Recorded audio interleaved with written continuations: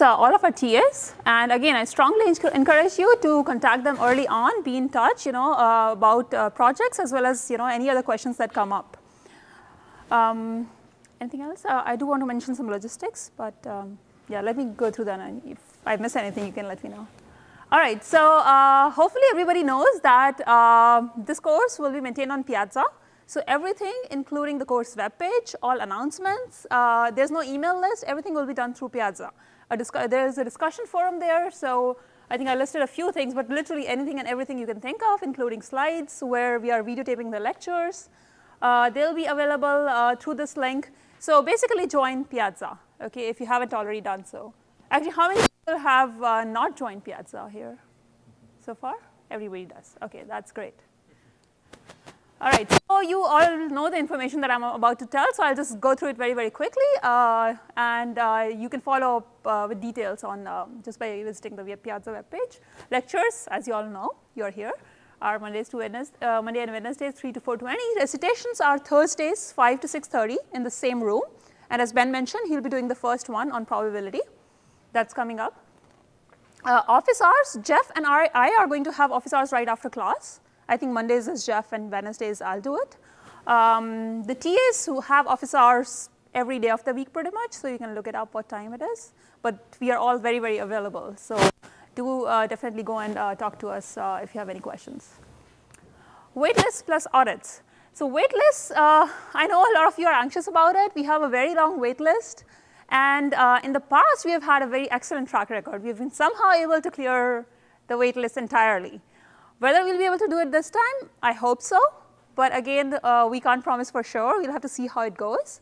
We do know that there are a lot of students who are listed in multiple or registered in multiple courses like 601, 701, and 715. So I uh, expect that people will be making their decisions soon. So we do expect the waitlist to clear up.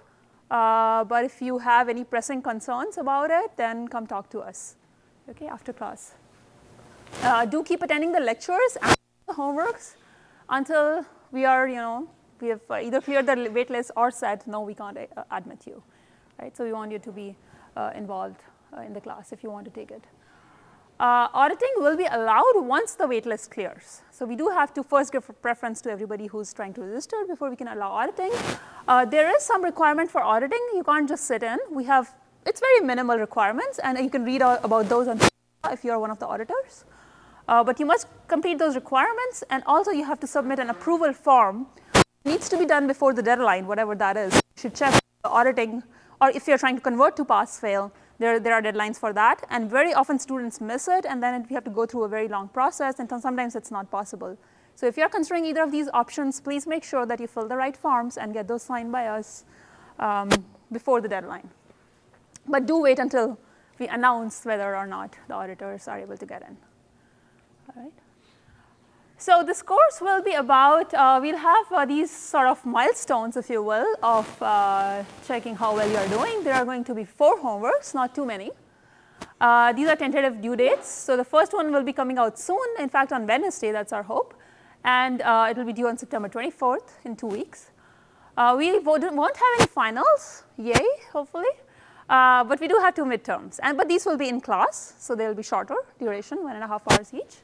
Uh, and there are the corresponding dates. Uh, these are hopefully pretty much set. We'll have a final project, or actually a project that we encourage you to work on throughout the semester. And that's one of the reasons we have few homeworks, because we really want you to spend time working on your projects. And it, we have these uh, milestones uh, listed here. One, we do want a proposal about what you will be proposing. Uh, we are expecting teams of around three, but we'll send out more detailed information about that. And uh, I'll start, uh, encourage you to start thinking about the projects really early on, okay, because it's going to be a very important uh, part of your grades as you'll soon. Uh, proposals, then we expect a midterm report somewhere, you know, end of October, like October 27th is I think the date we said. There will be a poster presentation, which will be basically a conference style, you know, you will have multiple um, posters going on at the same time. People will come to your posters and you'll have to describe the work you did to them. Um, that's December 4th. So that's not a class day, but we do expect you all to be there during the time frame listed. Uh, it will be, I think, in the NSH atrium, and we can definitely work around if there are any classes going on that time. You can contact us when the date comes closer. Uh, and then there's a final report that's due on December 10th. Okay, so as far as classes go, I think we'll be done somewhere before December 4th or that week, essentially. Grading. So as I said, uh, project is an important component. In fact, we have divided the grades uh, equally pretty much amongst the homework assignments, project and midterms. So each is about 33%. In fact, project is higher 34, just to emphasize the fact that we really want you to focus on your projects. Um, we will also have some online questions that we have mentioned here in addition to the homework assignments. And the idea here is that we will be giving you very, very short auto-graded questions every week on the topics that we cover during that week. And uh, we will be using the feedback from that also to design the recitations so they can meet your needs more effectively. Okay, so based on how well you do on those, we can identify which are the uh, areas that you need you know, some reinforcement on. Maybe the TAs can go over that material more, or maybe you want to learn a little bit extra. So we'll use these uh, questions. Of course, they'll constitute a part of your grade. They'll, together, all the questions will count as one homework. But uh, we also want to use it as feedback about what you're able to understand or not, and uh, hopefully help tailor the recitations accordingly. And there's also some scope for uh, getting extra credit using scribing. So one of the things we want to do, starting from next lecture, is uh, have two students, I think we allow a team of two um, students to uh, scribe the lecture notes, which means you'll be taking detailed notes during the lectures, and you'll be typing it up in LaTeX. There's a template available, and I think there's a sign-up sheet. So again, you can read about all the details on Piazza, but uh, that will count as extra credit. And if you want to enroll for it, I encourage you to do it early because we'll be limiting to only two students scribing one lecture. And uh, so if you want to take advantage of this, sign up early so that we can actually uh, get that credit to you, provided you do complete the scribing nicely, and if there are any revisions required to the material, you'll have to do it and all that. Okay. Uh, late days, we'll allow a total of five late days on all the assignments together. So that includes the homework, that includes uh, some of the project deadlines, clearly not the poster presentation. Um, it does not include the midterm, of course. uh, so, but most of the assignments that are reasonable, we will allow you to use late days to um, totaling no more than five. And on any one assignment, you can use up to a maximum of three late days. Okay, so if your homework one, you can turn it in up to three days late, but then the next homeworks, you'll only be allowed two more days. I hope everybody's clear about this. Any questions? We may not be able to do it on the project final report because Uh-huh. we have to have time to do To the the grading, grading yeah. afterwards. So yeah, so the project uh, poster as well as the project report, yeah, possibly I should remove that. I think the midterm report might be okay, Yeah, we'll but uh, we'll see. post the- Yeah, we'll post the rules, but not all the assignments will have late days. Homeworks definitely do. Okay. I'm not, still not sure about online questions. We'll again have to see about that. Yeah. We uh, should mention this is um, in, in lieu of people coming to us and giving us uh, Mm-hmm. long excuses about why they need late days, right? So if Right. you, if you um, need more than this number of late days, you'll be expected to justify every single one of your past late day uses, not just the next one. Right. So we're hoping that this covers like travel to conferences, uh, holidays that you need to take, that sort of thing. Right, and really this is the maximum number of late days and uh, I did it because Jeff said it. So in the past we have only given two late days for the whole semester, so we are giving five. So you should really use it judiciously, but it really, we hope it will cover everything. Okay, I think that's really pretty lenient. All right. Okay, so what can you expect to learn in this course? Well, we'll be talking about machine learning algorithms, lots of them. So it's an introduction to machine learning, more at a PhD level. Uh, and also principles. What things are actually important, what considerations are important when you're designing a machine learning algorithm. Okay, so you'll see uh, algorithms like, uh, we'll start with the classification ones like naive Bayes logistic regression, perceptron, SVMs. I think that's the plan for the next uh, two or three lectures. Uh, we'll do regression after that, some basic parametric regression, and then we'll do the non-parametric like KNN classifiers and kernel regression, followed by kernel density estimation, uh, the more unsupervised kind of topics, hidden Markov models, graphical models, clustering, dimensionality reduction, neural nets, uh, and so on. Okay, and then also the principles like um, some model selection, overfitting, bias variance trade-offs, what kind of optimization algorithms uh, you might need for uh, solving different machine learning problems, uh, and also theory. We'll do just a brief, I think, uh, two lectures on the theory of it. Of course, if you want to know more, there are other courses that I'll mention in a minute. As far as the material for the class goes, all the slides will be posted on Piazza as well as the lecture videos. Uh, there will be the scribe notes I just mentioned for extra credit. So these are handwritten notes that a TA will or one of the instructors will also uh, go through and make sure they are legit. And we'll be posting these and plus any pointers to reading material that we might provide. But there's really no textbook that's required for the course. We do have a list of just recommended textbooks. So here's a bunch of them by Chris Bishop, Kevin Murphy, Tom Mitchell, and this uh, Trevor Hastie Tibshirani and Friedman, so feel free to look at them. Um, in fact, we encourage you to go read the corresponding topics, so you should definitely, the lecture slides and videos and any material we provide uh, reading pointers will be the main source of uh, material for this course. All right, uh, I did want to mention the related ML courses. Um, I know many of you are still considering which one to uh, take or which one you'll actually get in. Uh, and uh, I just again wanted to mention that in some sense, 601 is the easiest. Our goal was that it's designed towards master's students.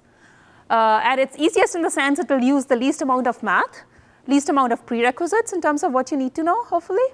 Um, then comes 701, which is this course, and then there's 715, which is meant for PhD students doing research in machine learning.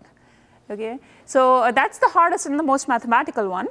It's still about introduction to algorithms, okay? So you can consider it if you're planning to do research, you need to know, some more derivations and theory behind the algorithms uh, than 701. Um, there is, of course, 702, which does much more of the statistical machine learning theory.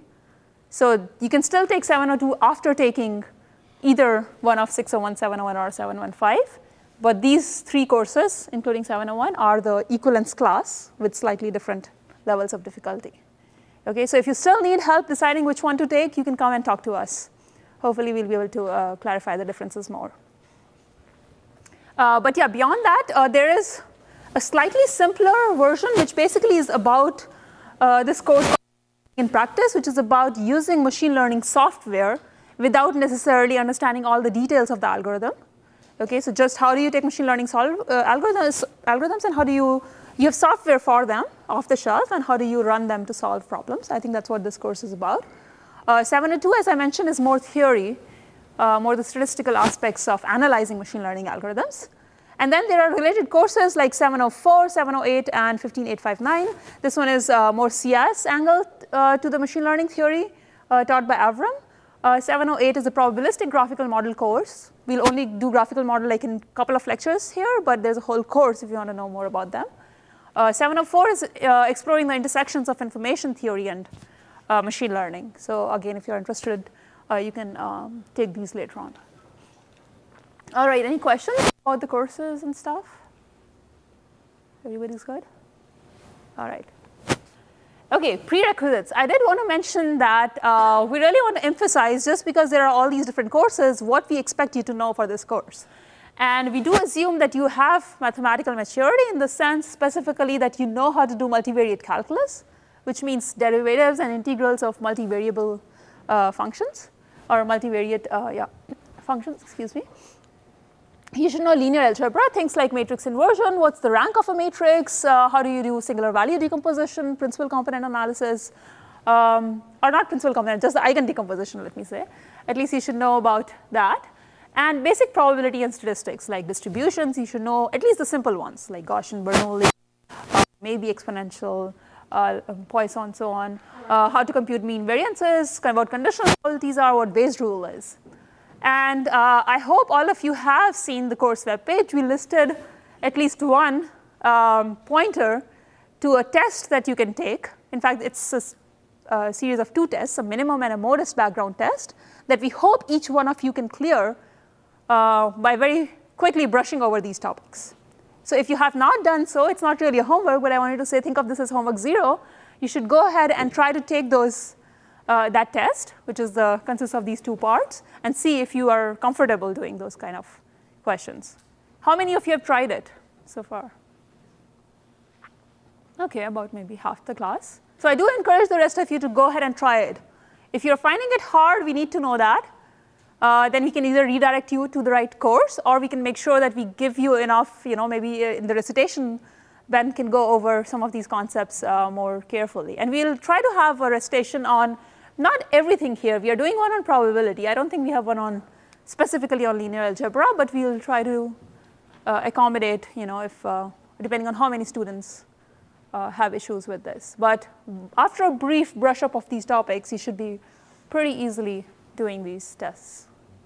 Okay. So one thing to say is if you want particular topics for a recitation, let us know and we can design, you know, recitations to cover yeah. those topics specifically. Right, yeah, if there's enough interest from uh, multiple students, then we can definitely design recitations tailored to that. All right. Um, finally, I wanted to also mention that if you want to brush up these topics, there are excellent tutorials that uh, you know a student from our department as well as another faculty member have assembled. So we strongly encourage you to go through these. These are brief overview of these topics. You can watch these uh, tutorial videos, and in fact, Ben did a great job of uh, coming up with a short set of questions, which is listed here, but you can go to Piazza and search for it. I just uh, thought I should. exactly. You don't need to record that link right now. But just go to Piazza, you will find a post which tells you about a series of questions Ben has designed on uh, that you should be able to answer by just after watching that uh, tutorial video on probability.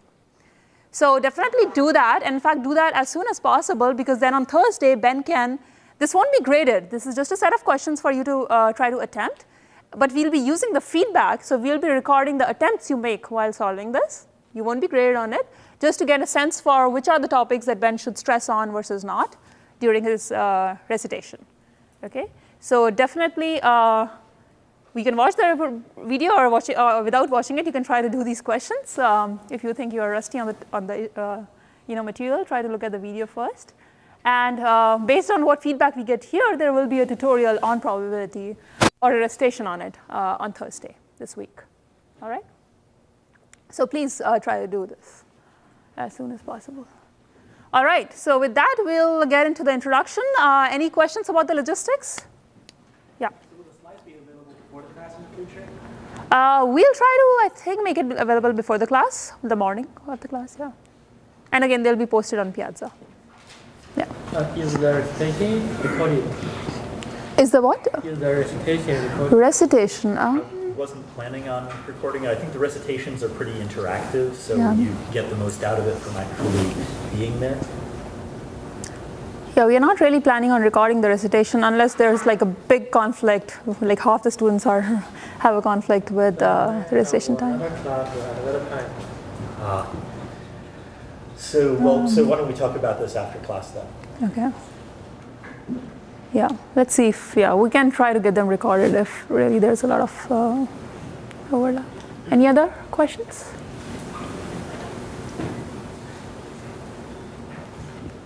All right.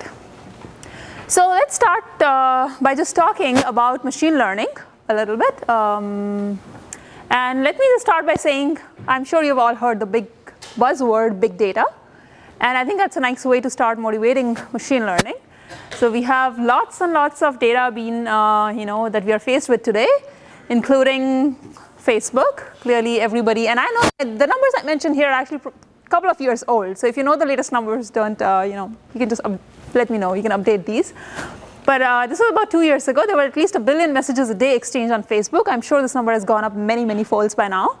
Uh, similarly for Twitter, there were 200 million tweets a day, right? Uh, the CERN project, or actually let me mention this one first. This is something interesting I'm working on. This is actually a scan of your brain. Uh, it's a diffusion scan which maps how different uh, regions in your brain are connected based on whether or not water molecules can diffuse in particular directions. If there is a nerve fiber, then they can diffuse along that. If not, they can't. And it generates this nice fancy looking hairball-like image of your brain.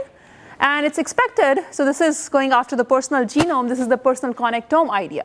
Instead of like in genome, they're hoping to map out the individual genomes of every individual. Here the idea is to figure out the nerve fiber connections of every single individual and have a single map stored for every person on this world.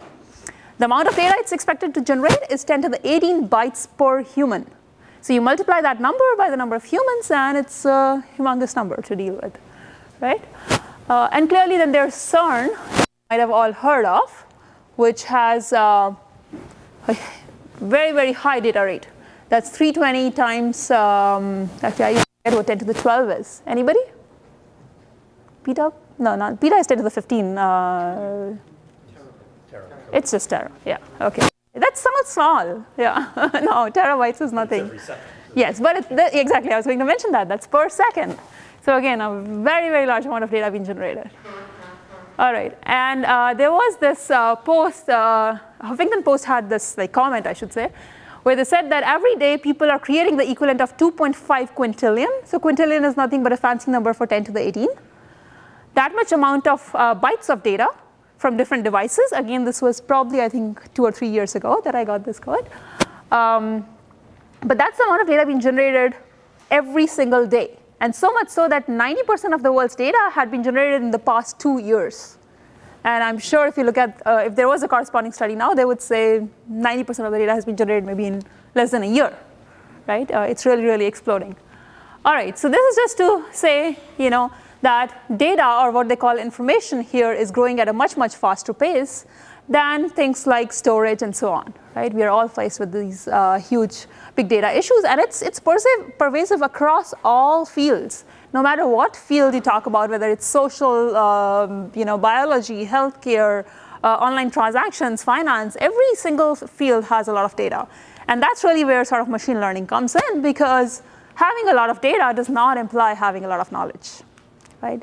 So how do you go from data to knowledge is really where machine learning algorithms are really useful nowadays. Right? So what is machine learning? Well, it helps us convert data, lots and lots of it. Uh, and th that's the reason we need an algorithm, because we have lots of it. We can't hope to put a human there who can do the same job for us, convert data to knowledge. We do need to rely on machines, and that's where the learning algorithm comes in. So here's a machine learning algorithm that takes data and outputs some kind of knowledge, whether it's predictions, hypotheses, different forms of uh, meaningful um, you know, inferences using that data. All right, more formally, this is how Tom Mitchell defined machine learning. He said that machine learning is the design and analysis of algorithms that, and you should remember these three things. They're called P, T, and E. So it's the design and analysis of algorithms that improve their performance at some task with experience. Okay? So what's experience? Data is sort of your experience. You show a lot of data to the algorithm. That's the experience it gains there's a machine learning algorithm, and it, when it has gained knowledge, it's performing well on some task, right? That's the meaning of knowledge, that you are able to do well on some task. So uh, really, these are the three key ingredients, performance, task, and experience. And actually, let's do a little experiment to make you understand these, you know, or, uh, these ideas a little bit more. So before we talk about machine learning, let's talk about human learning. Uh, because this is one of the first projects. Actually, this was my first introduction to machine learning, where uh, we were given uh, this task, right? So we always, these are the, one of the three ingredients, task, uh, where we were given, uh, there was a, I, so I did my PhD from Wisconsin. There was a biochem lab there who had lots and lots of data. They had images of different proteins that they were trying to crystallize under different operating conditions. And so had, they had all these images that were being produced at a very, very fast pace. They had um, many, many, um, I think, uh, several thousand images, maybe even a million. Uh, I think there were several thousand is right, probably the right number, generated each day. And they needed somebody to go look at these images, each single one, and say whether the protein has crystallized or not, or what stage of crystallization is it in. And it was our first course project to try to design a machine learning algorithm to uh, predict, while looking at an image, whether it has a crystal or not. So by the way, crystallizing proteins is a very important topic because then you can study its structure once it's crystallized and you can figure out you know, how, different, uh, how it, uh, different things might bind to it and so forth. So it's important for drug uh, design and uh, all sorts of cool things. All right, so here's some experience. So that's the task that we are going to learn to crystal, uh, identify what stage of crystallization is the protein in.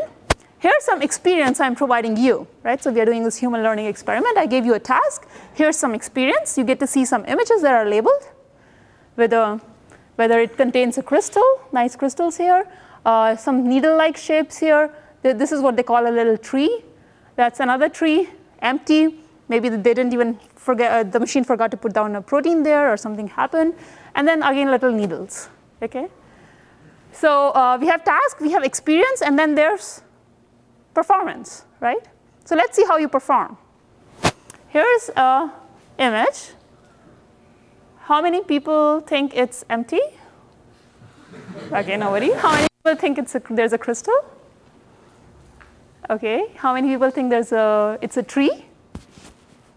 Maybe some. Uh, and a needle? Okay, good to see all the hands raised because I was like, if people don't even think that, then I don't know what uh, else you would have learned. Yeah, so actually it's a, it's a good thing that there are, so there were some confusions because it's not, that's what machine learning algorithms do. They don't give you, they don't predict a label exactly. Not 100% of the time they'll say it's one label, it could be one or the other. Excuse me. So that's exactly what machine learning is about. It's about assigning it a task, giving some experience, and then expecting the algorithm to learn something from the data and be able to perform well on future tasks, uh, right? And you'll notice that an important aspect of this is that we don't want you to memorize. So you don't want, if I had just put in one of these images over here, then that wouldn't be learning. You would have just memorized what its label was, and you would have exactly told me that label back. But you learned something because you had never seen this image before, but just based on experience, you were able to predict what its label should be. Right? So that's what we hope that uh, a machine will be able to do for us. All right. So machine learning in action, I'm sure you're all familiar with the lots of uh, you know, areas in which machine learning is helpful. Let me mention a few of them. Uh, simplest being document classification. You have lots and lots of documents on the web. And if you want to write uh, an algorithm to quickly go through them and classify these documents, maybe you want to do some, uh, suggest some blogs to people or some different posts to people, uh, then one of the tasks is you want to take all these documents and be able to classify them, whether they are talking about sports, science, news, and so on.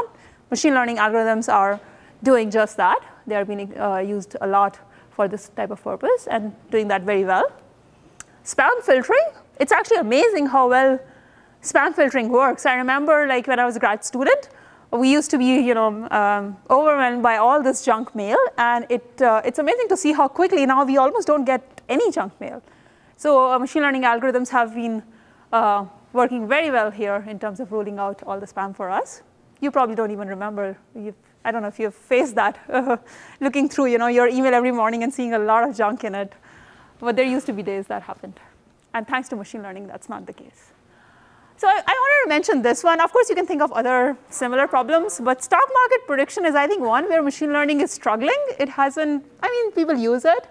And uh, it's, so basically, it's about trying to predict, say, the price of a share over time, looking at past, how well it did on the past. And of course, market is a very complex uh, place. People are trying to use machine learning, but uh, I don't know what's the state of the art and, uh, as far as how well you can predict. And it's, anyone who has solved it won't tell us. Exactly. yep. All right. Oh, this is an interesting one I like. Uh, so this is about decoding thoughts from brain scans. And uh, really, I think it's, it's actually very much there. And you should talk to people like Nicole here uh, who work with Tom Mitchell who are exactly looking at these kind of issues where you can look at, at least as Tom Mitchell's group is, that you can look at the brain scan of a person and be able to predict what they are thinking. Uh, and that has really cool applications like, you know, maybe you can figure out if somebody's trying to rob a bank or something like that. So you can figure out whether you're a criminal or not by just putting the criminals through a scanner. That would be really nice in doing preemptive, um, you know, uh, sleuthing there. It reminds me of that movie, uh, Minority Report, I think it was, if you've seen it. Yeah. so I think we are getting close to what Minority Report showed, where you can, uh, you know, maybe put uh, these, all these, I think they had those electrodes or something on the people's brains, and they were able to predict whether or not they'll be involved in a crime. And something similar is actually very much, uh, we are pretty close to that using machine learning now. All right, and then uh, this is another cool example, uh, probably my last one, from um, the best helicopter pilot being a computer. Because you, in, I'll show you a little movie, and you'll see the kind of things this helicopter is doing. Uh, I don't think any pilot can actually do it in practice, but just using machine learning algorithms, the helicopter is able to do all these maneuvers. And I wanted to mention that there is no joystick here. Nobody's like having a joystick controlling what this helicopter does. It's completely an algorithm that's running inside the copter, and it's been trained to do uh, these type of things. So let's look at that. Hopefully it will work.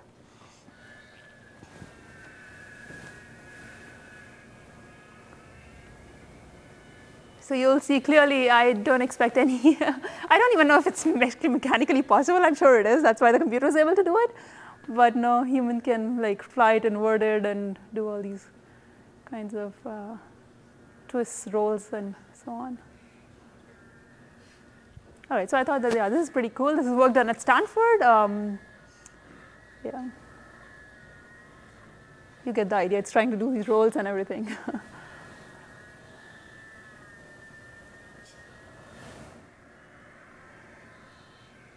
All right, and flying inverted and so on. So that's just some examples I picked, uh, but really, I mean, it's up in all sorts of different uh, applications, like machine learning is playing a key role, and that's one of the things we actually want to encourage you to explore in your projects.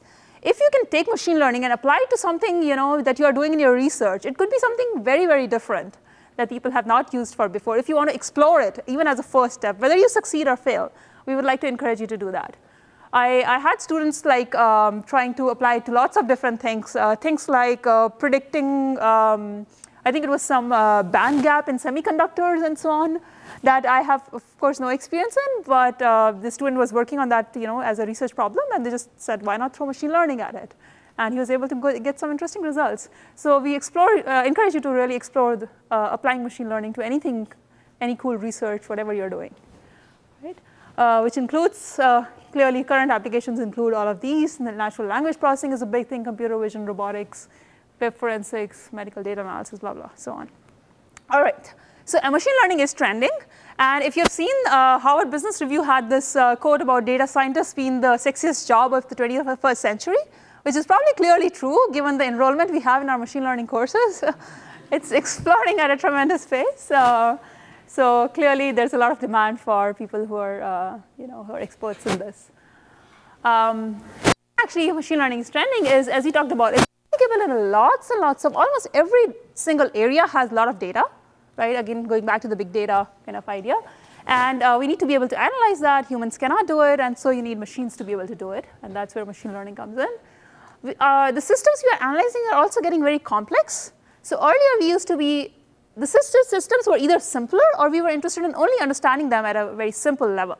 But now we are really uh, pushing the frontiers of what we can do as far as, like, say, we want to understand the brain. Now we really want to get down to very, very neuron, neuron level, but also an entire map of the brain, not just a specific region of interest or something like that.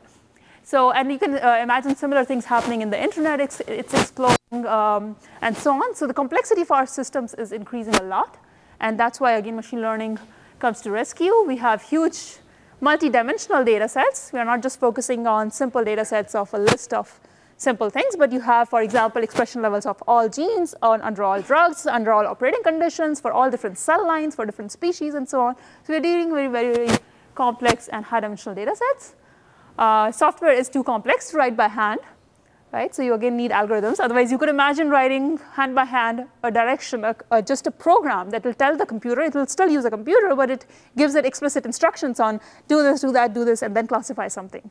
But what machine learning is about is you want to give it just experience and have the algorithm figure out how to generalize something instead of encoding, uh, just writing the whole software by hand. And of course, uh, part of the reason it's trending is because algorithms have become very sophisticated and we are able to solve things that we were not able to solve earlier. All right, uh, and of course, the platforms have become much faster to uh, implement these uh, machine learning algorithms. All right, so you, you, might ask, well, machine learning has seen a lot of success. Are we there yet? And I wanted to tell you, uh, I'm sure you've all had experience with it in some form or the other, a couple of experiments where it clearly shows machine learning has a long way to go. One is actually this article that appeared in Wired Science. So a lot of cool machine learning has been used to do brain scan analysis right, to predict whether there's activation in the range uh, in the brain where it is and so on. So what they did was they used that machine learning algorithm and they put a dead fish into a scanner. Now clearly you shouldn't expect anything out of it, but they saw some the algorithm actually said there were a few regions that are active. So it's just, I mean, I know it's kind of a silly experiment, but it still goes to say that machine learning is not perfect. We are not at the point where we won't make any false alarms. And um, in you know such a simple scenario, hopefully you should be able to do uh, better. So there's clearly scope for improvement. And this is, of course, something that I didn't even have to give an example. I'm sure you've all tried it. And especially if you have a different accent, uh, like I do, failed at getting Siri to recognize uh, what you are saying. So somebody trying to say how many euros in a dollar, just asking Siri that and getting all these uh, interesting interpretations without actually getting the answer. And I'm sure most of you have experience uh, with that. So there's a machine learning algorithm there. There's speech recognition going on in the background, but there's still a lot that needs to be done to make it perfect.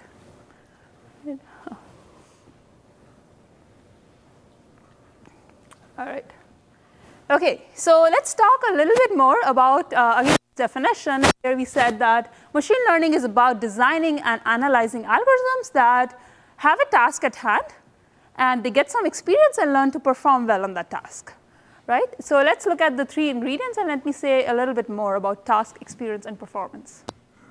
So focusing on tasks, what are the broad categories of what we call machine learning tasks? So these are not application specific, I just mean broadly you can characterize machine learning as being able to address these different uh, uh, more, if you want to call it more mathematical, maybe categorization of the tasks.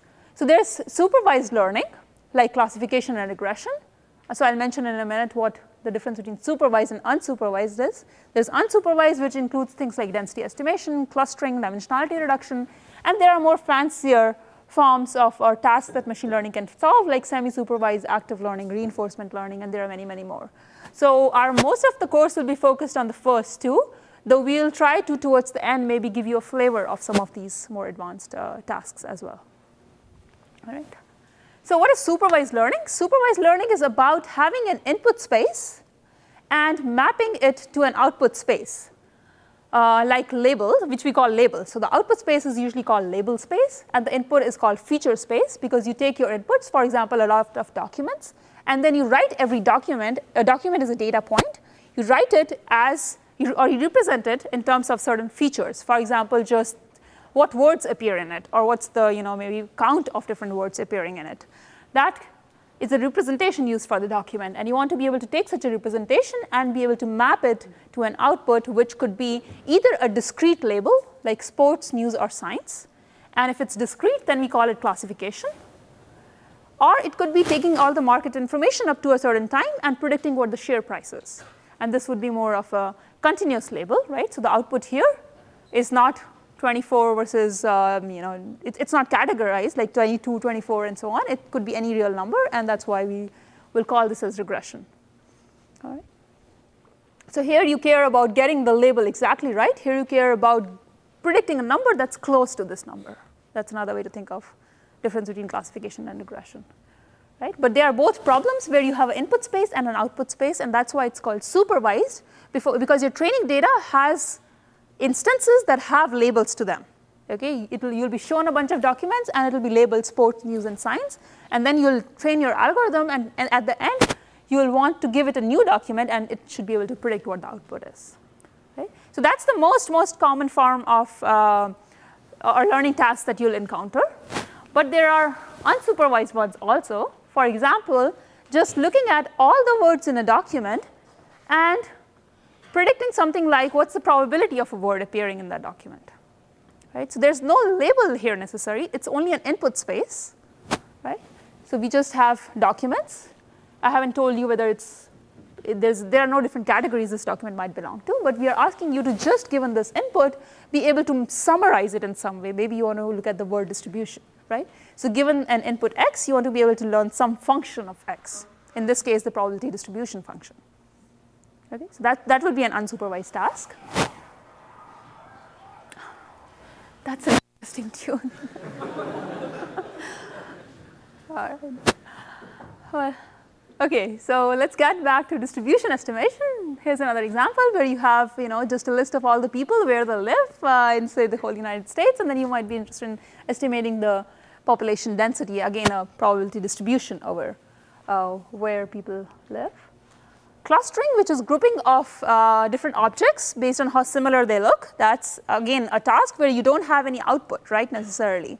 Uh, or at least the, in, the what goes the training data that goes into the algorithm does not have labels associated with it. It's just a collection of images, and you are expected that the output will be a group of similar objects like almost I think these are all sunsets, these are all sort of flowers, sky, and then some uh, grass and so on, right? Images of that. So categorization or grouping according to similarity is unsupervised task. Another unsupervised task is dimensionality reduction. So here the idea is you want to take something that is originally represented in a very, using a very long feature vector, for example, an image. You can represent it by a long feature that contains all the, the features are basically the values uh, of all the different pixels in the image. So here every image will be a very, very high dimensional object, but uh, of course it's hard to visualize in high dimensions, so you might want to project it down onto a lower dimensional space such that you still, by projecting down, it means that you now want to reassign every image a coordinate that still makes things, nearby things look similar. Okay? So for example, if you look at this, this set of images, uh, as you go from uh, here to here, you see the mouth going from like a, a tongue out or a frown. And notice some interesting patterns. Uh, open to closed was there somewhere? Right, but a meaningful embedding such that you're not thinking of these images as points in some high dimensional pixel space. Okay? So a lot of applications you might care about looking at some lower dimensional embeddings. All right, so this is sort of a flavor of the most of the tasks we look at in this course. Uh, supervised like classification and regression and then unsupervised like density estimation, clustering and dimensionality reduction. And we'll get to some of the advanced ones maybe later on. All right, so that's about tasks, different learning tasks we'll look at. Let's talk a little bit about experience. So experience was essentially data that you get to see, right? You get to train your algorithm on. Um, so looking at this example we had, I think I mentioned this point earlier that this is the experience you had. And a very important point about this is that you have to think of, in machine learning algorithm, one of the cardinal sense is to mix up what we call as training data, which is this experience, with the data you use to test your performance on, which is called test data. So we'll be using these terms called training data and test data, and you should never mix them in the sense you should never try to train an algorithm also on your test data, on the entire thing. Because if that was the case, you would just memorize, like if I had given you the label for this one, you would just memorize its label and output that back at me, right?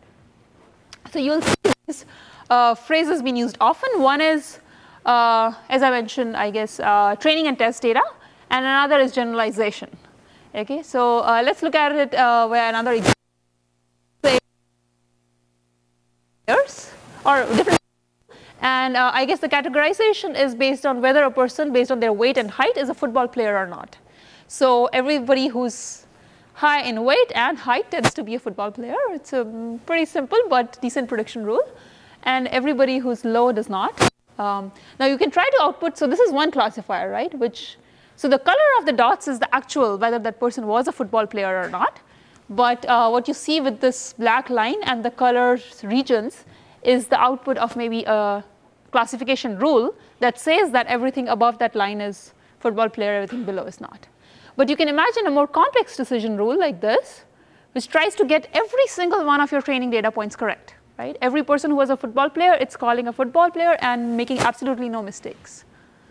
Uh, but do you expect this kind of a classifier to work well if I gave you another random person? Clearly no, right? So we say that such a machine learning algorithm, if you design it like this, then it's overfitting your training data, right? It's trying to essentially memorize or learn a little bit too much out of your training data, and that will be called overfitting. So these words like overfitting training test data or what I said generalizes, we say that it generalizes, this classifier generalizes well to a new test data point. For example, this one, it will get its label right most often, whereas this one will not. Right? So we say that simple classifiers generalize well to test data. So you'll be talking about generalization ability as we go on. All right. Um, then finally, performance. So let me say a little bit about that. So there are different ways you can measure performance, and I said we'll be looking at different machine learning tasks, supervised classification regression, unsupervised, and so on. And it makes sense to uh, think of what the different performance metrics might be for these tasks. So let's talk about a few of them. So given a random test data, right, uh, we hope to measure how close the true label is to what your prediction is. So f of x is your prediction for some random test data x, and you want to say how close it is to uh, the true labeled y. Now how you define closeness really defines a performance metric, right? So for classification, let's say you just have two classes, and that's why I call it binary classification. We want to say whether it's an email is spam or not spam. What is a good measure of closeness of you predict something and there's a true label? Any thoughts? They should be equal. Yeah, you just check, check whether they are equal or not, right? So performance metric is simply you consider the zero one loss. One, maybe you incur a loss of one if they don't agree, and if they agree, you say zero, right? So that's a simple performance metric for classification. What about regression? So something like predicting the price of a share. Does this make sense? Can I still use something like this? Why not?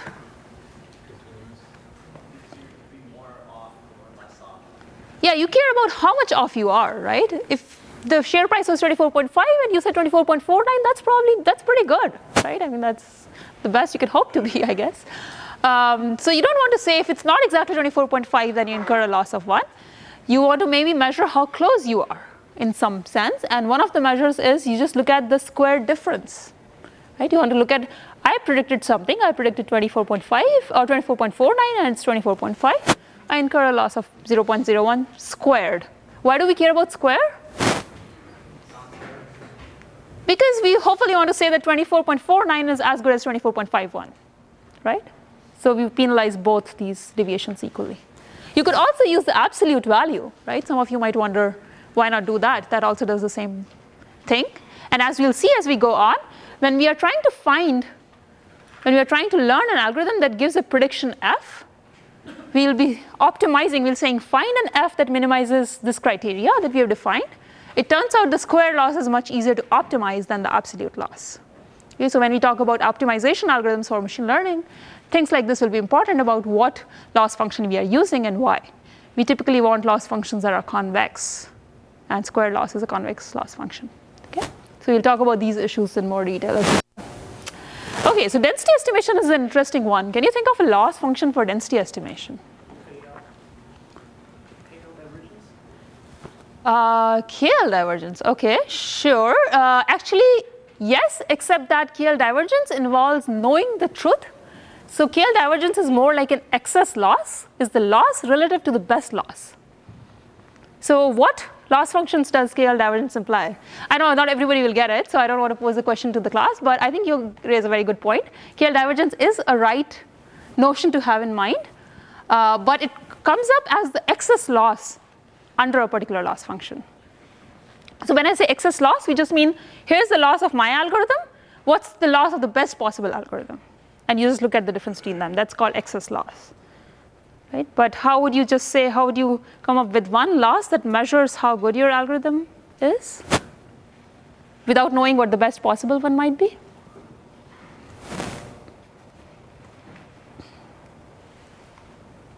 Yeah?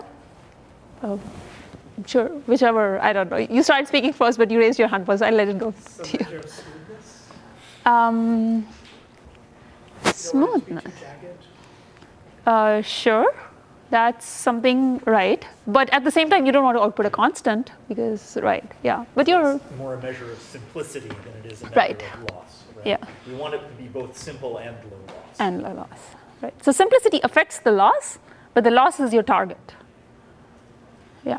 There was another. What is the probability of your data set given the density values of it? Exactly, that's a good one. So we want to be able to say how likely is the model I've learned or the probability distribution I've learned to have generated the data, right? And the higher the likelihood, the better my algorithm is. Or if you want to, so here I said higher the likelihood, the better the algorithm is. If you want to convert it into a loss function, we'll just use the negative of the uh, likelihood, right, as a loss. In fact, uh, what's used more often is the negative of the log likelihood. Logs are easier to work with um, when we are de dealing with probability measures often. So we look at negative log likelihood, and this is the loss function, and actually you can show, hopefully we will at some point in the course, or it will come up in a homework assignment, that the excess loss corresponding to this loss function is exactly what KL divergence is, at least for some distributions. Right. Okay, so you can think of loss functions even for things like uh, density estimation, which is a very unsupervised learning problem, right? But did it make sense to everybody that we might want to say, well, I, I gave you some data, I told you to learn a distribution for it, and uh, only if my distribution is able to give a lot of likelihood to my data does it make sense to optimize it, right? That's one natural measure. All right. Um, yeah, I also wanted to point out that sometimes people ask, what's the difference between machine learning and optimization? Right, so I just wanted to give you a slight glimpse, and I think Jeff is better suited here to answer this question than me, so you can correct me if I'm wrong. But uh, this is how I think about it. Say you have a supervised machine learning problem. Let's just focus on supervised for simplicity. And you say, well, our, our goal here is to construct a prediction rule that maps some input to some output, right, in machine learning, supervised learning. And we want it to work well for any test data, right? So test data is something that, of course, it has to be related to your training data. If, if they come from completely different things, then you don't have much hope to be able to do well on the test data given the training data. But you believe that they come sort of from the same distribution. Maybe it's a random draw from some distribution. And mathematically, you can write it as an optimization problem. You can say, now I have defined a metric. I want to be able to minimize that loss function, whatever I've defined. Right? So it is an optimization problem. Difference being that I put in the expected value here, right?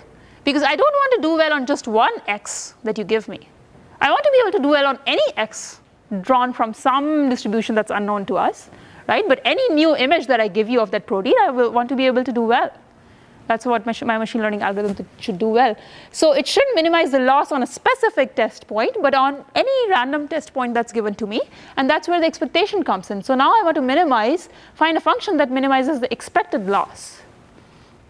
I'm sure it's an optimization problem, except that you don't really know what the distribution is, what the underlying distribution from which your test data might have been drawn, right?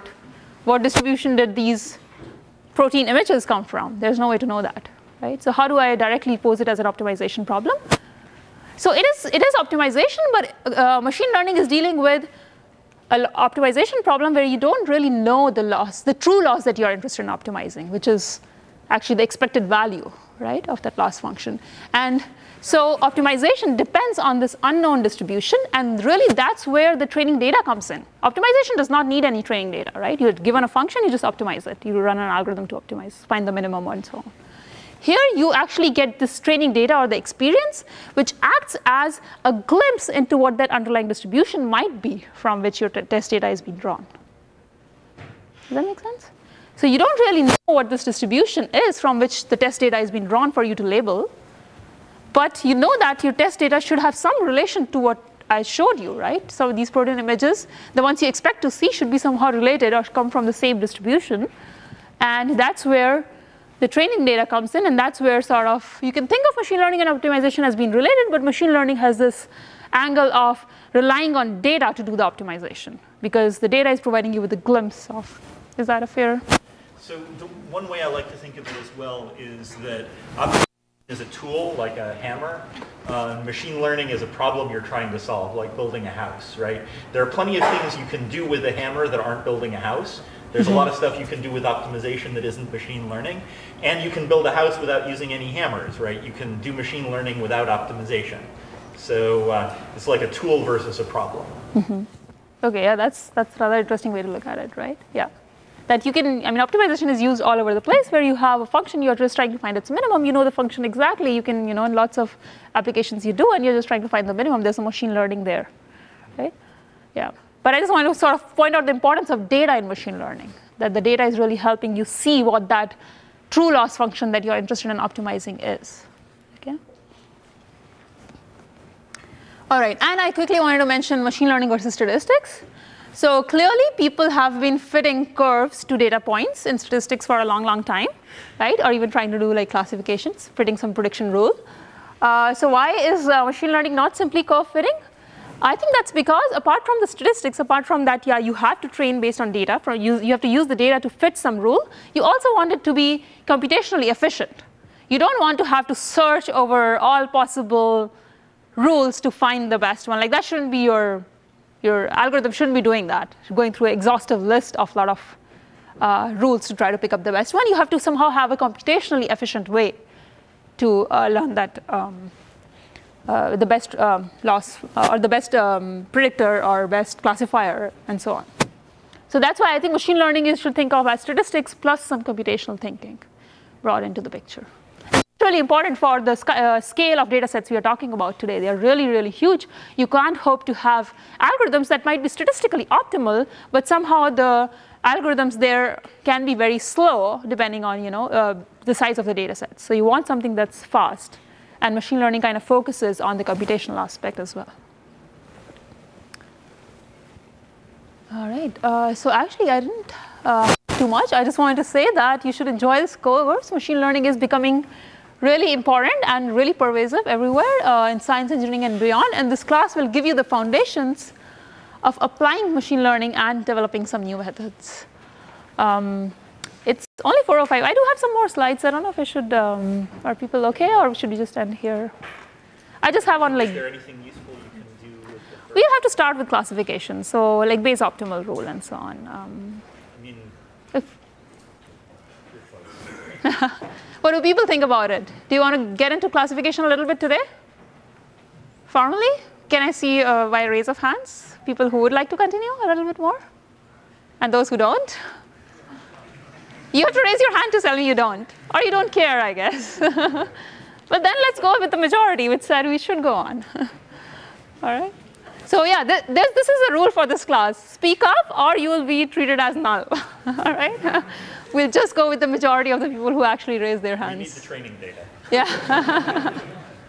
if you need to provide us with the data to know how to act on it. All right, uh, so um, Bayes optimal classifier. I sort of wanted to start by, since we just discussed this idea of there can be a best rule that optimizes your uh, loss function of interest. And let's talk about that in the context of classification. So let's first uh, remind ourselves of what classification is. So as we just said, it's about constructing a mapping or a prediction rule from the input feature space to the output or the label space, right, where your labels are discrete. We discussed that a, a loss function of interest here is the 0, 1 loss, just saying whether you got the cl class right or not, right, for the labels. And uh, we also discussed that you don't want, just want to minimize the loss function.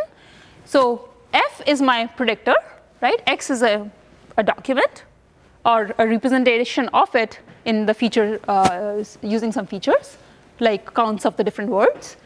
So you want to be able to come up with some function. So the X goes into your machine learning algorithm. You want the algorithm to um, assign it a label called f of x, and you want to measure how close is the prediction f of x to your uh, true labeled y in the sense of your particular loss function of interest. And as I said, since you don't want to do it just for one x, a new document I give you, but over any randomly drawn x, what we care about is actually minimizing the expected loss function, right, over all possible. F is like, you can think of it as a prediction rule, right, so over all prediction rules. And if I specifically put in, instead of the loss function, the 0, 1 loss, what's the expected value of an indicator? Now we are testing your probability. That's very simple. Expected value of indicator of um, event set A. It's just the probability of that uh, event, right? So that's what I just did here. Okay, so if you didn't follow this, then you need to brush up your probability and try out those questions we gave you, right, that Ben has designed.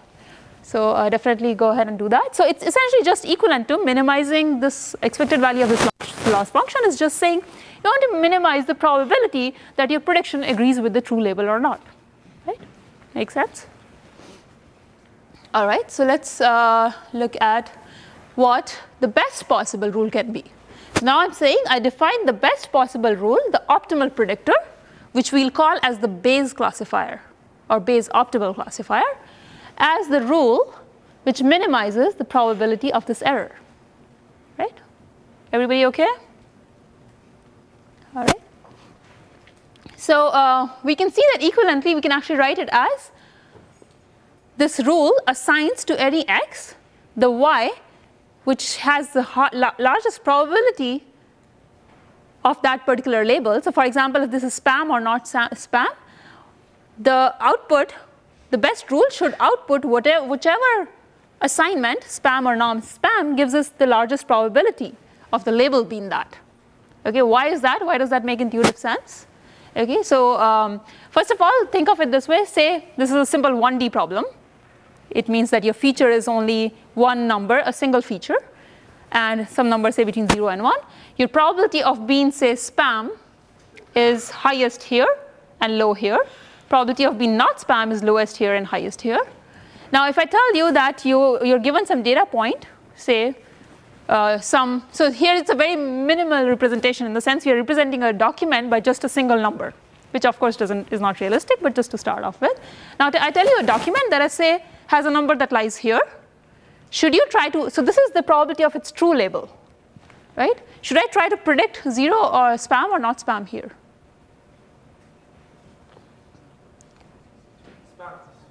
You will try to predict spam, right? Because the spam being the label is more likely here than non-spam being the label, right? So that's, that's what the optimal predictor rule is. It's just saying if I knew what the true probability, so of course the optimal rule is not something you can compute, right? It's not something that's known. That's where the training data will come in. Later on, we'll use training data to actually figure out what a good rule might be. This is just saying, suppose I told you what that distribution is from which my test documents are being drawn, then the best possible rule would just look at what's the probability. Is, this is the label. If the true label is highly likely to be spam, then I declare it as spam. And that's all the best optimal rule is. That's what this is saying. Pick the label that is most likely for that particular x, that particular input. Okay. Uh, we already discussed that. So another way to see it is you can write out, if you want to look at it more mathematically, you can look at the probability of error and you can write it out as by conditioning on x.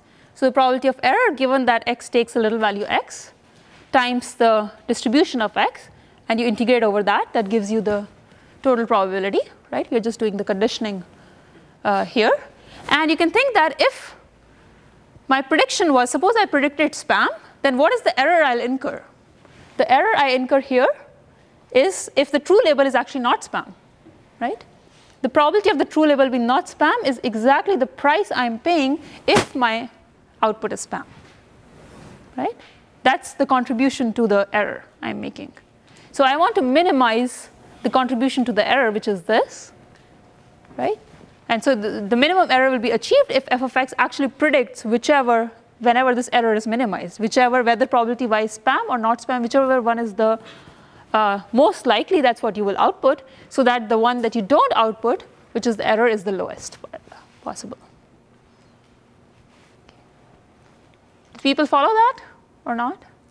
either the mathematical version or the uh, intuitive version. I guess the intuitive version is easy enough to see, right? If you expect, if I told you that the true label has 90% chance of for this document to be spam, then you say spam, right? That's the simplest optimal classification rule you can hope. But of course, that involves knowing the distribution of the true uh, label, which is not known in practice, but you're given examples of documents drawn from it and their labels, and we'll use those to learn the distribution. Right? So uh, one thing to notice is, well, if I say this is the best possible rule, always predict whichever label has the highest probability, is this rule always likely to succeed? Will this best classifier have zero error? No, because as I said, if I have a document, say, whose feature lies here, I'll predict, I'll try to say uh, spam because it has higher label, but there is a certain small probability with which you will get documents which have this x value but which are not spam. So there is going to be a certain non-zero probability with which you will, even the best classifier makes errors. That's the moral of the story, okay? And so you should not think that the optimal classifier means it's going to have zero error. It will still make an error, right? All right, so another way to look at the um, optimal classifier, we are going to use some probability and sort of rewrite it. So as we said, uh, the optimal classifier is whichever label has the largest probability for that particular input, right? This is the optimal classifier. Let's use what we know as Bayes rule. So how many people here remember Bayes rule? How many don't remember it or don't care? I want to force you both to raise, like either class to raise hands. Oh, so everybody does? All right. So that's a good sign. So the Bayes rule is simply this. You can take something like probability y given x and you can relate it to what probability of x given y is using this simple formula, right? That's Bayes rule. You should know how to der derive it also. Does anybody remember that? Okay, I see some heads nodding. So yeah, one simple way is you just move this thing over here and look at this is actually the probability of x and y, and this is also the probability of x and y. That's one way to do it, but of course there are other ways you can do it. All right, anyways, the point is that now it helps us write the optimal classifier, which was the one maximizing p of y given x, right, in terms of some other things. So first of all, I can just take this Bayes rule and write the version that has the instantiation in it that y is a random variable, but suppose y takes a particular value little y, x is a random variable, it takes a value little x, and I can write the Bayes rule like this then. And if I use that in my optimal Bayes optimal classifier, you see that first of all, I replace this expression with this, right? I can drop the denominator. Why is that? Because we are maximizing over y, right? And so x doesn't matter. If all I care about is which y maximizes this, that's going to be prediction, right? So I can just drop the denominator and I get that my Bayes optimal classifier is simply the classifier that gives me the maximum product of this quantity, which we'll call as class conditional density. Given that my class is spam or not spam, what's the probability of a data point? Okay, so why does that make sense? We'll see in a minute and times the class prior, how likely is that class to occur? How likely is it that any email will be spam or not spam? Not a particular email, any email, right? So why do we care about that? Well, because, um, and that's where I needed the board, but let's see. I don't know if people will be able to see here. Um, actually, yeah, that, that might work. I'm try to raise that. Oh, raise this one? Sure, we can do that as well. Which uh, you can raise this okay. one. That's okay too. Uh, which is the left one. I just need to turn off the blank the screen here.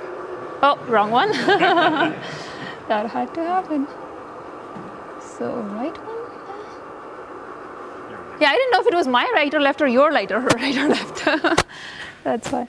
Okay, so uh, the reason why we might want to, oops, um, write it like in this form is because now let's think of you know, plotting our data points, for example. So we have uh, documents, say that are, um, or emails that are spam and that are not spam. And maybe, so all the spam ones in some feature representation are going to look, you know, somewhat they're cl uh, clustered uh, together. And then the non-spam ones maybe are like this, right? Of course, they won't be such nicely separated. You will get stuff like this happening all the time, right? So that's, but this is a representation. You should be able to think of, I can take an email and I can draw it as a data point because I can write the email, I'll represent the email first as a feature vector. Maybe it's count of how many times a particular word appears in it. And those are, those counts are going to be my axes, right? Those are the features. So I take an email first and I map it into, in this case, because I want to draw them on the board, just two features. So the features could be count of bad words and count of um, whatever, something else. uh, maybe uh, something that you don't care about, right? So you can think of mapping, converting a data point into having a feature representation of it in many ways. Say there were only two features of interest, that's what x1 and x2 are. Then you can sort of draw every data point on the board, right? So here are a bunch of emails that now I can draw, which are spam, and here are some that are non-spam. And now what my Bayes optimal classifier is saying is that, first of all, I'm going to look at, so there are two components here. One is the class prior, which is what's the probability that I get labels that are spam or not spam. Now it could happen that there are very a small number of spams and lots of non-spams, right? So that tells me, the second term tells me how likely is any email to be a spam or non-spam, and the relative ratios tell you how pro probable is it to have a particular label. And the first term is saying that given that it is spam or not spam, what does the distribution of the points looks like, of the input points? What's the probability of x given that it's y, which means that now I can only focus on things that are spams. And I can uh, try to say, can I take these points except for the circle, and can I try to fit some model to how that data might have been generated, given that it is a spam, or given that it's not spam, how might this data have been generated?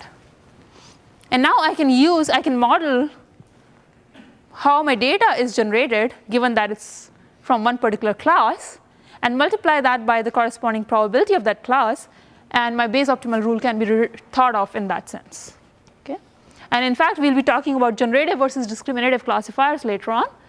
And generative classifiers are exactly based on this notion where you're modeling how your data might have been generated given that it began or belongs to a particular class. Okay? So that's why both these representations are useful. Either you can think of it as simply as this, which label is most likely for any input, or what's the probability my data was generated from a particular class times the probability of that class. And they're both equivalent. You can think of the Bayes optimal classifier in any way. And the reason I actually wanted to mention the second one is that now you can actually think of some simple models for how your data might have been generated and try to figure out what the best classifier might be. Okay? So as an example, we can think of the data has been generated from, say, two Gaussians. Everybody familiar with the Gaussian distribution here, right? Anybody who's not or who doesn't care? All right, good. okay, so what I want a simple model I can use to model my data is I'll say everything that's spam maybe comes from a Gaussian, okay, with a certain mean and a variance which we represent. So I hope everybody's familiar with when I draw a circle why that might mean a Gaussian. Because it has a center which we'll call as the mean in 2D and it has a certain variance which we can represent by uh, radius of different uh, of, or circles of different radius, right? So I can model my one class as a Gaussian, maybe I can model my other class also as a Gaussian. And then I can think of what's the form of my Bayes optimal rule look like. So my Bayes optimal rule is when this distribution, so for simplicity, let's say we, so we said probability of x, so I'll call this as x, the combination of x1 and x2, right, of a data point given spam, right? Say that that is Gaussian uh, mean, um, whatever is your mu 1, variance sigma square, right? And this other one is if the data point was actually a not spam, then this is, let's say, Gaussian mean mu 2 and sigma square i, right? And now I can think of, well, these, this is this, now I've specified a model of p of x given y. And I might assign a probability to how, a priori, how many emails are actually spam or not spam. Maybe they are equal, or maybe you want to say, so we can assign a probability. This is just a model I'm assuming. I might say probability that there's a spam is 0.2. I don't know what the actual numbers are actually. well, right now they are probably pretty low, but the actual amount of spam that is sent is probably much higher. so we can have this simple model. Of course, not spam is 1 minus that.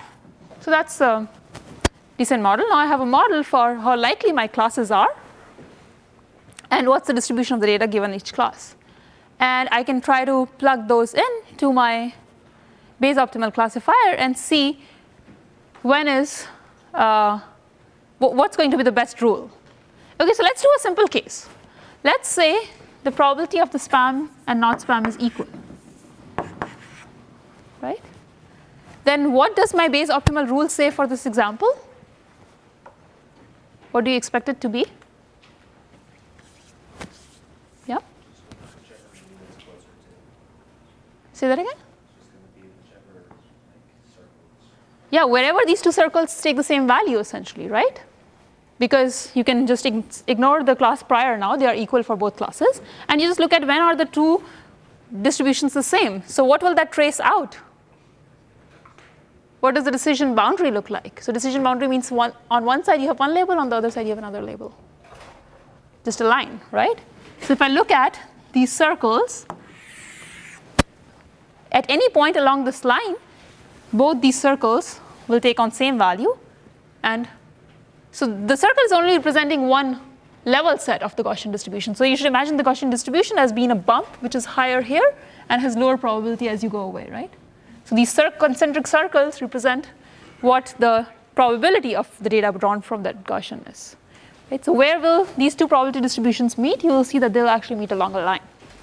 And I don't know if this is going to be covered in the recitation or a homework problem maybe where what happens if you have, it's going to come up somewhere, what happens if you have not uh, the same variance under both classes, right? You could have data from one class looking like maybe a Gaussian like that, another class like that, right? They don't have to be necessarily spherical. And what's the shape of the Gaussian decision boundary now? Okay. So actually, let's uh, maybe we'll end there. Let's think about it, and we'll meet in the next class and talk about what that should be.